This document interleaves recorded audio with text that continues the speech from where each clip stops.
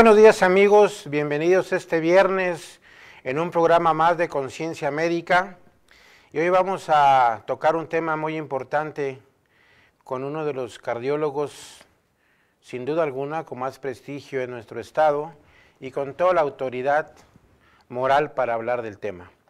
El día de hoy en nuestro programa nos toca hablar de algo muy importante que para los médicos es algo que siempre se debe conservar que es precisamente la ética del médico. La ética del médico, considero opinión personal, que representa una virtud que todo médico debe de portar bajo esa bata blanca y que desafortunadamente esa ética con el paso del tiempo, por eso poníamos en, en los carteles de publicación el programa, es una virtud olvidada. Creo que hay varios factores que han condicionado esto. Creo que la profesión de la medicina merece es de las profesiones que merece mayor ética para poder llevar a cabo esta profesión. Y es para mí un honor el día de hoy, verdaderamente un honor, presentar al doctor Mario Morales Medina, que vamos a tener una entrevista vía Zoom con él, desde las instalaciones de la Dirección General del Hospital San Lucas.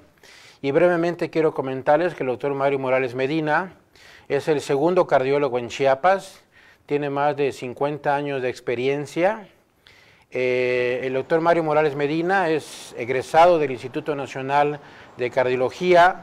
Él tuvo la fortuna, yo no la tuve, pero él tuvo la fortuna de estar con los grandes de la cardiología de México, de vivir la época de oro de la cardiología en nuestro país, ya que México fue puntero a nivel mundial en los institutos nacionales de salud.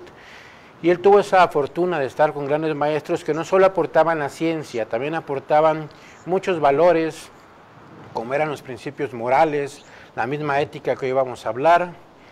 Y eh, aparte de ello, el doctor Mario Morales Medina es el fundador de la Sociedad Chapaneca de Cardiología, es el fundador de un hospital que muchos conocen, que es la Policlínica Especialidades en Chiapas, es también eh, fundador del hospital actual que tenemos hoy en Chiapas, el mejor hospital que es San Lucas, él es el director general y en base a su visión y en base a muchos aspectos que él consideró nuestra sociedad, pues hoy en día tenemos el hospital que tenemos la fortuna de brindar atención a todos nuestros paisanos.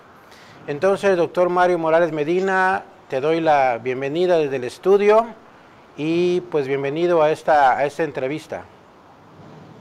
Muchas gracias, doctor Morales Medina. Realmente eh, el tema eh, es muy interesante, ¿verdad? Porque, como bien dicen, esta virtud se ha ido perdiendo eh, con el paso del, tiempo y realmente el médico se ha distinguido eh, siempre por tener una investidura muy especial ante las demás profesiones. Eh, yo creo que sí hay algo que realmente le dé una imagen nos ha dado una imagen durante muchos años a los médicos es precisamente eh, por su humanismo. El humanismo es la parte fundamental de los valores de un médico porque involucra muchas cosas eh, como es la ética, como son los principios morales, nuestra escala de valores, eh, sobre todo porque mm, los pacientes depositan no solamente eh, su salud en nuestras manos, sino también eh, su vida. Nosotros como médicos pues debemos de tener siempre eh, la visión y la obligación de actuar con ellos con honestidad, con afecto, con buena atención, siempre hablándoles con sinceridad y de aquí nace lo que ha sido pues la ética médica o bien lo, que es lo mismo la deontología médica. todas, las, todas las profesiones pues sabemos que deben de tener ética, en todas las profesiones habla de deontología, perdón, y eh, en la medicina es algo realmente eh, muy especial. En todas las profesiones hay códigos de ética. y en la nuestra especialmente, pues eh, la característica es que tratamos con seres humanos. La deontología es parte de la ética que trata los deberes, especialmente de los que rigen una actividad profesional en términos generales. Aparte está la deontología médica, que es un capítulo aparte, eh, que ha existido desde siempre, desde hace muchos años, eh, y que ha ido cambiando, que ha ido evolucionando el concepto. En 1949, la Asociación Médica Mundial votó en Londres el Código Internacional de Ética Médica. En él ordena que el médico debe a sus enfermos todos los recursos de su ciencia y toda su devoción. Un enfermo o un tratamiento rebase sus conocimientos o sus capacidades debe llamar a otro médico que sea calificado en la materia. Yo creo que esto es mucho, muy importante porque no, como médicos, es imposible que podamos saber eh, todo y siempre debemos eh, de estar conscientes de que cuando llegamos a nuestros límites eh, de conocimiento, debemos de apoyarnos de otros colegas y de esa manera compartimos una responsabilidad muy grande para el bienestar y el beneficio de nuestro paciente. Aquí pues en esta eh, profesión que nosotros tenemos tiene que ver mucho la, ética, eh, es similar prácticamente lo mismo que la deontología. Y eh, la ética se define con el estudio fundamentado en los valores morales que guían el comportamiento humano en la sociedad. Mientras que la moral son las costumbres, son las normas, los tabús y convenios establecidos por cada sociedad. Eh, estos dos conceptos, tanto de la ética como de la moral, pues son nuestros principios básicos eh, en nuestra profesión. Eh, el paciente siempre acude a uno con, la confianza, ¿verdad? De la imagen que tenemos, de tener conocimientos de las enfermedades y llegan a depositar en nuestras manos su salud y su vida. Esto nos obliga a nosotros, como ya les mencioné previamente, a poner todos nuestros conocimientos y a tratar siempre de eh, sacar adelante a nuestro paciente.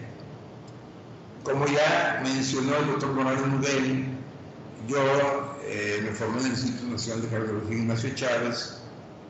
Eh, tuve la fortuna de que el maestro Ignacio Chávez fuera realmente mi, mi maestro y él siempre nos habló mucho acerca de humanismo y de ética eran unas conferencias magistrales que nos daba él y nos motivaba siempre a, que fuéramos eh, profesionistas honestos y con mucha ética. Creo que esto, esta escuela, no en todas partes realmente eh, ha tenido eh, este espíritu, porque él se abocaba siempre a darnos este tipo de conferencias, de pláticas, y yo creo que actualmente eh, estamos viendo una pérdida de valores, de ética y de moral, eh, muchos desafortunadamente en algunos de nuestros colegas, ¿verdad? De tal manera que ya la medicina se ha comercializado, y ya no se toma mucho en cuenta este, este aspecto del humanismo, de tal manera que eh, hay quienes ya lucran eh, de una manera muy franca con el dolor eh, del paciente, como pasó o está pasando ahora con el COVID, ¿verdad? que muchos han, eh, médicos han hecho propuestas de curación prácticamente milagrosa con estos tipos de pacientes, valiéndose del dolor humano y ofreciéndoles cierto tipo de tratamientos o de alternativas que realmente son, son un fraude y eso realmente eh, afecta a nuestra investidura como profesionistas. Yo creo que este, es muy importante eh, seguir manteniendo este perfil que nos da el médico.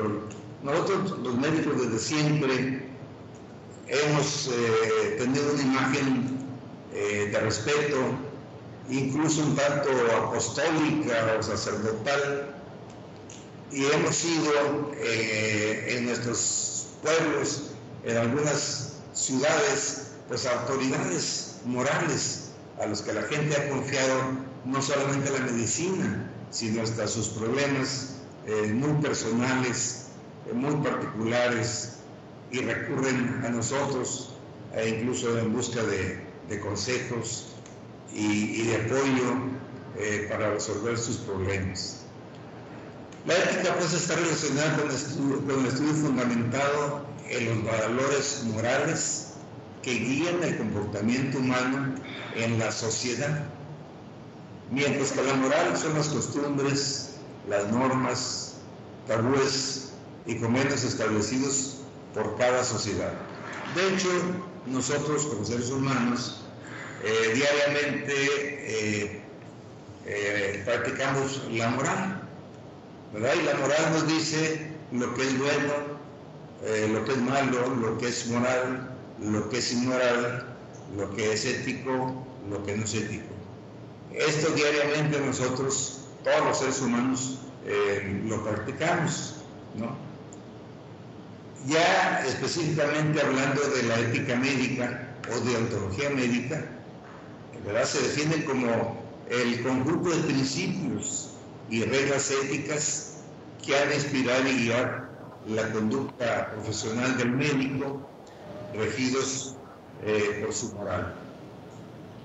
Eh, no olvido que el maestro Chávez, incluso en uno de sus discursos, dijo que el humanismo médico es el espíritu de la medicina.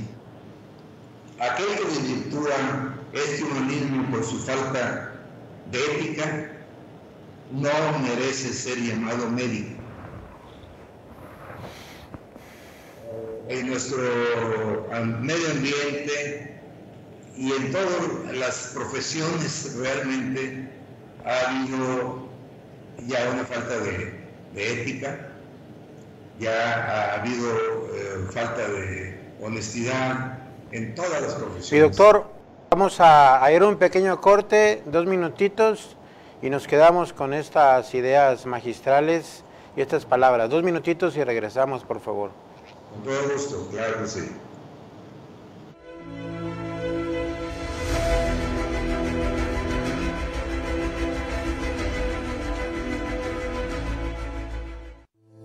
Las elecciones 2021 están a la vuelta de la esquina. Por eso, en el diario de Chiapas estamos preparados para llevarte toda la información. Te llevaremos de la mano durante este recorrido mediante análisis, entrevistas y diversas opiniones. Te invitamos a que nos acompañes y juntos analicemos las diferentes propuestas. Ruta Política, aquí en la plataforma digital del diario de Chiapas TV. Síguenos y conoce más de este proceso electoral. Porque, juntos, lo hacemos mejor.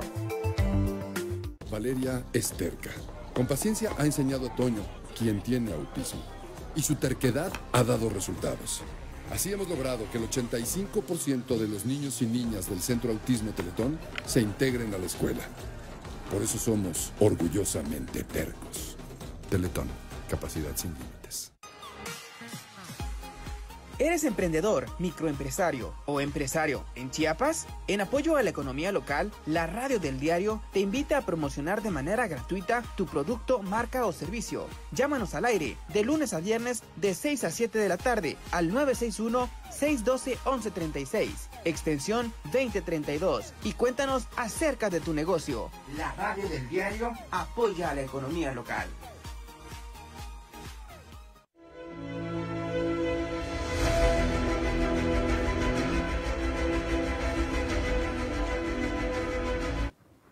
Estamos aquí en el programa de Conciencia Médica con el tema de la ética médica y con una autoridad en ese tema que es el doctor Mario Morales Medina. Para hablar de este tema se tiene que tener la autoridad moral. Por eso fue que hoy decidimos estar con él. Y continuando con la plática, eh, doctor Morales Medina, sin duda que somos dos generaciones distintas.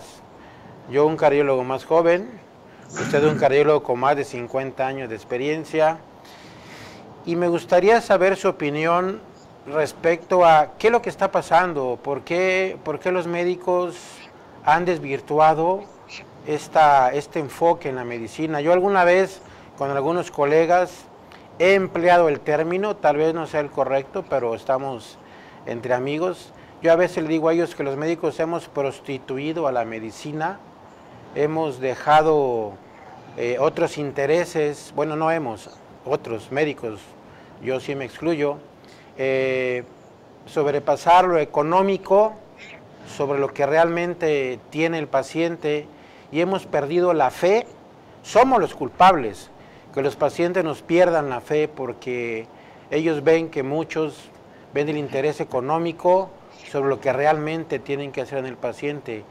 Con toda su experiencia, ¿qué, qué está pasando? ¿Es, ¿Es una crisis del núcleo familiar? Es una crisis personal, es una crisis de donde nos formamos, porque no todas las instituciones te enseñan esa calidad moral. ¿Cuál es su opinión al respecto? Sí, bueno, yo creo que nosotros eh, en nuestra familia adquirimos una plataforma de principios y con el ejemplo que recibimos en la familia, y con las enseñanzas también en la familia y en nuestras universidades, eh, creamos nuestra escala de valores. Y esa escala de valores es la que va a regir nuestra conducta y nuestro comportamiento. Muchos, eh, la medicina realmente necesita de mucha vocación. Eh, el que tiene vocación para ser médico, tiene que tener estos principios, porque esto va a inspirar y guiar su conducta profesional, que está regida por la moral. Cuando no existe esta moral, cuando no existe esta ética, entonces se empieza a prostituir la medicina. Y cualquier profesión se empieza a prostituir. Esto cabe en todos lados, incluso hasta en las religiones, en abogados, ingenieros, arquitectos, etc.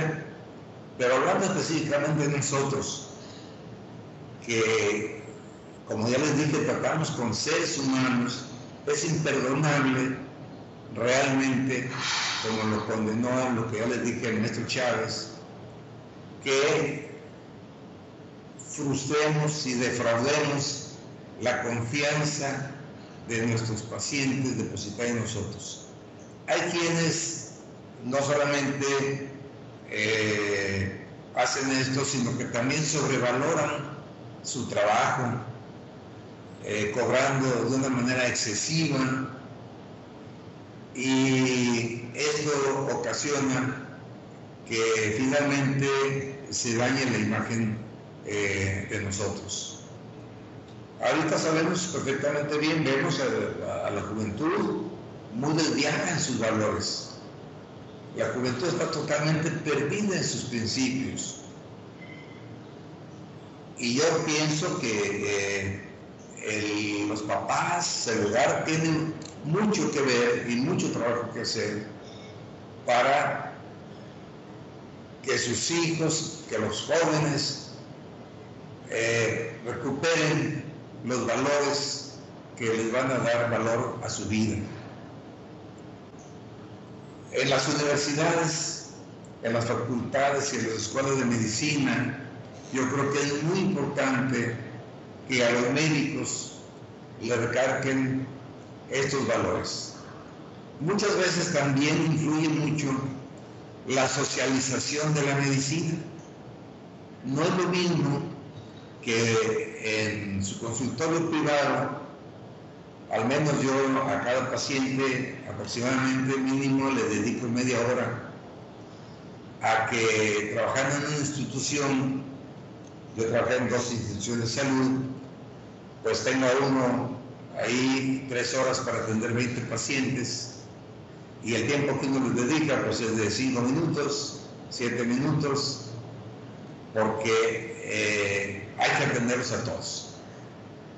¿Qué clase de medicina está uno haciendo? ¿Qué clase de clínica? ¿Qué diagnóstico está uno haciendo? ¿Qué tratamiento está uno dando?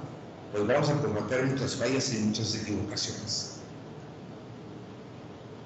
Esto, nos, esto obliga pues a, esta, a también contribuye a que se pierda eh, precisamente esta eh, imagen del médico y esta labor humanitaria para el médico.